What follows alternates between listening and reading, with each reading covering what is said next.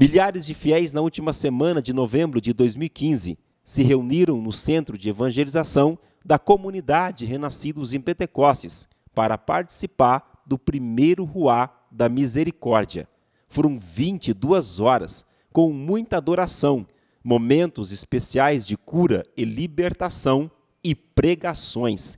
Às 15 horas, uma missa especial em comemoração à abertura do Ano da Misericórdia foi celebrada pelos padres do ministério Cristo Sacerdote, levando milhares de fiéis a um verdadeiro encontro com o amor de Deus. Segundo a coordenação do evento, o primeiro Ruá da Misericórdia tem como finalidade também atender a um pedido especial do Papa, que é sermos propagadores da misericórdia divina.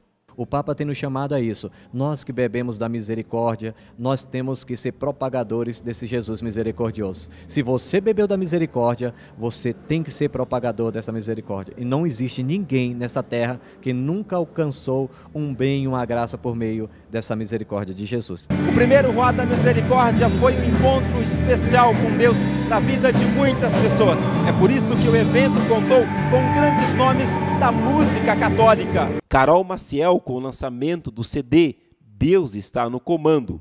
André Leite, Ministério de Música Luz do Sim e banda Lírios do Vale realizaram grandes shows de evangelização que vão ficar marcado no coração de Brasília. Querido, a emoção é muito grande, é muito forte, porque Deus tem nos abençoado com muitas coisas, dentre elas a oportunidade de estarmos aqui num evento tão lindo, tão abençoado, tão cheio de unção, tão cheio de amor. Então é realmente de fato muito emocionante. O encerramento do primeiro Ruá da Misericórdia aconteceu com a vigília Renascidos em Pentecostes, que nesse ano de 2015 completou um ano.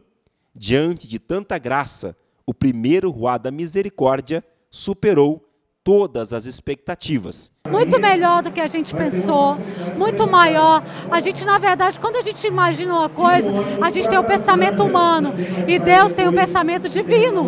Então ele fez conforme o coração divino. Foi muito melhor do que eu acho que qualquer pessoa que esteve à frente pudesse imaginar. E nós estamos agradecidos pelo povo que vem conhecer o centro de evangelização, vem adorar o Senhor aqui, e aqui é o lugar do povo, é a casa do povo, a casa de Deus, que todos sejam muito bem-vindos.